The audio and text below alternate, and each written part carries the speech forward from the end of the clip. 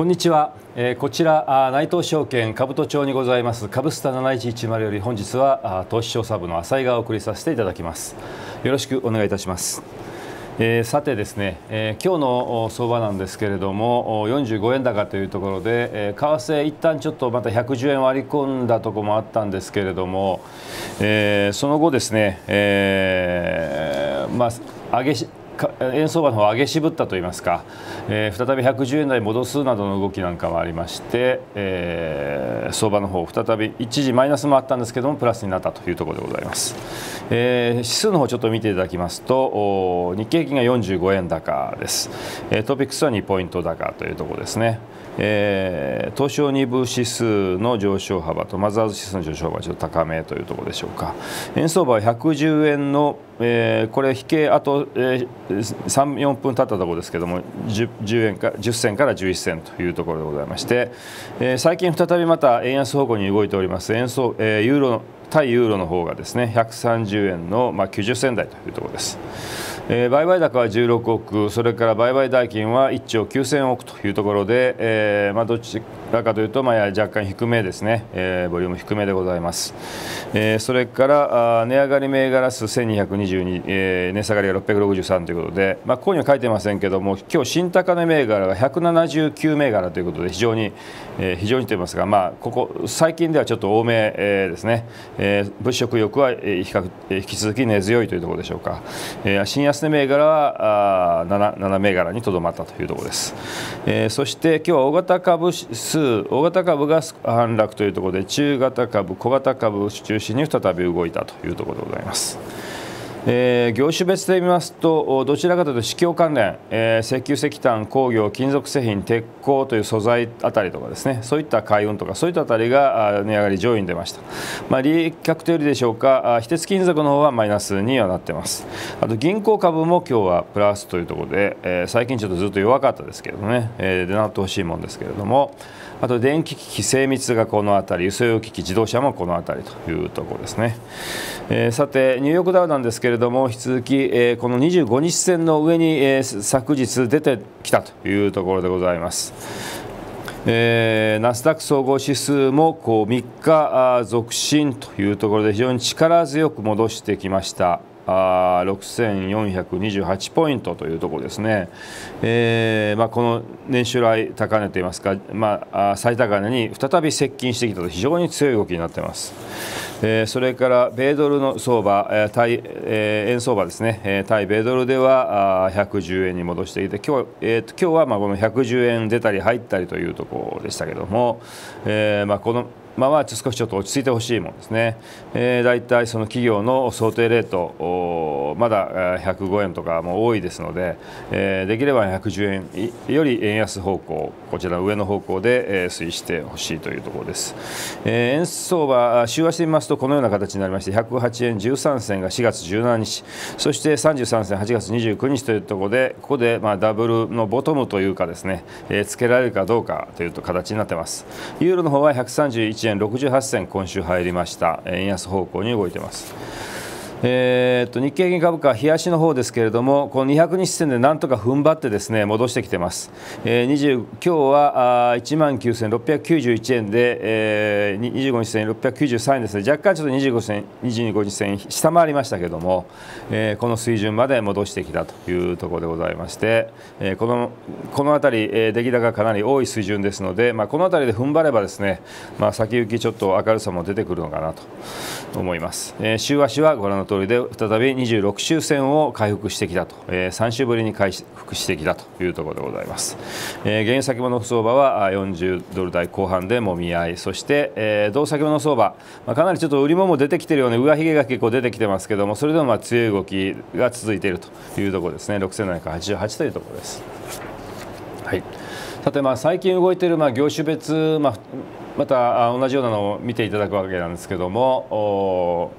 この業種別の株価指数はご覧の通り内需系もそこそこしっかりしている銘柄業種で出てきてます。建設とか情報通信ですね。あと医薬品がちょっと戻ってきましたね、えー、ずっとちょっとここのところ難聴だった医薬品が戻ってきました。不動産は引き続きまあ低調というところでしょうか。あと外需系まあ電気機器は引き続き強いです。えー、堅調機械も戻ってまいりまして鉄鋼一時リグ売りに押してましたトヨタの鋼材価格の鋼材のですね、えー、系列への、えー、価格引き下げとかもあったんで下げてましたけども再びちょっと戻してます。海運なんかも戻しているというところですね。銀行が若干ちょっとまあアメリカの方の銀行株が少し、えー、戻してましたのでちょっと出直りの兆しというところでしょうか、えー、自動車は横ばいというところです。え、その他の業種別ですけれども非鉄ちょっとお辞儀してますけれども、まあ、引き続きずっと上がってきました。価格そして、え、ジャスダック平均強い動きですね。やっぱり小型株強いです。あと卸売、え、大手商社引き続き堅調な動きというところです、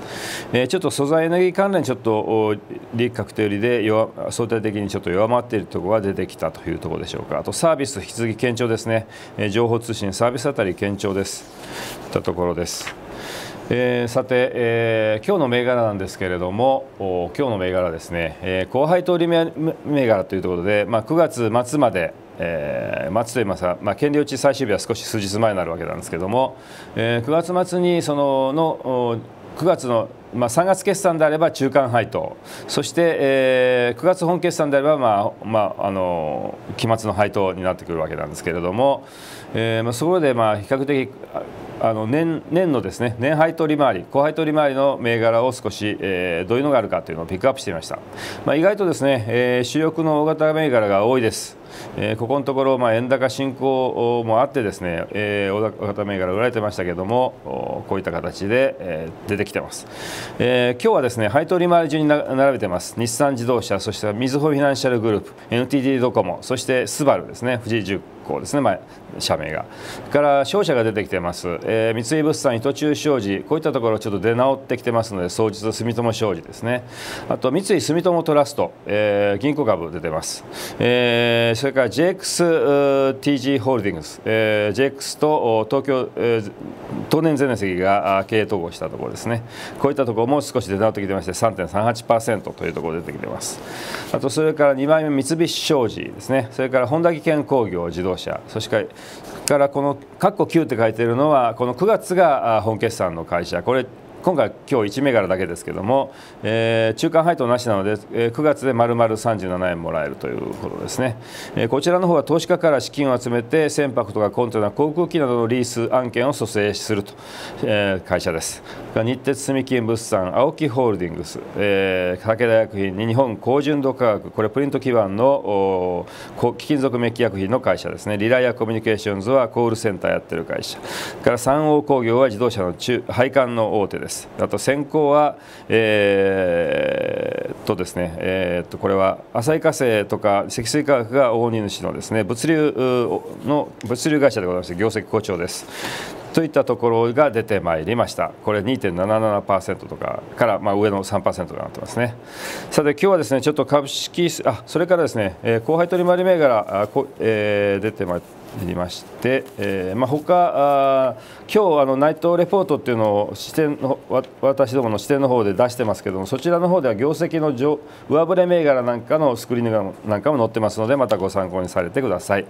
さて、えー、っと9月6日開催の株式セミナーあ参加費無料ということで先月着40名様場所は横浜市の金沢公会堂でございます、えー、2017年度後半の日本株展望と有望テーマ銘柄というところで、え銘柄選定のコツと売買タイミングというところで、えお話しさせていただきます。講師はあ今日の今日の昼ストックボイス昼過ぎにストックボイスに出ました、えー、うちのですね、田部井、え義彦でございます、えなかなか男前のイラストになってますけども実物はどんなものかというどんな顔かというのをちょっとあの確認していただきたいと思います、えお問い合わせはですね、え内藤証券の金沢文庫支店ということで045 780-5021というところでございます。こちらの方にお電話いただければと思います。先着40名様無料でございます。横浜市金沢公会堂で、えー、時間が2時から3時半というところですね、えー、させていただきますのでよろしくお願いいたします。あとそれからえー、っとですね